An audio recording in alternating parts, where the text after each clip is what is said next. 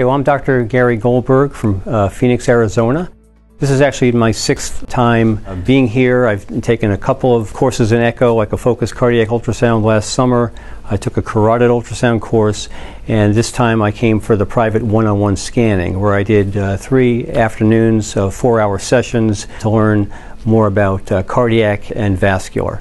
When you get to basically monopolize your instructor by having a one-on-one class like this, it just you get constant, immediate personal feedback on everything that you could possibly do to improve your scanning. So I asked them right off the bat to critique everything, no matter how basic, on how I was handling the probe, how I was manipulating the probe, and to have somebody actually watching you, somebody expert, and just saying, you know, you know, just rotate the probe a little bit clockwise or counterclockwise.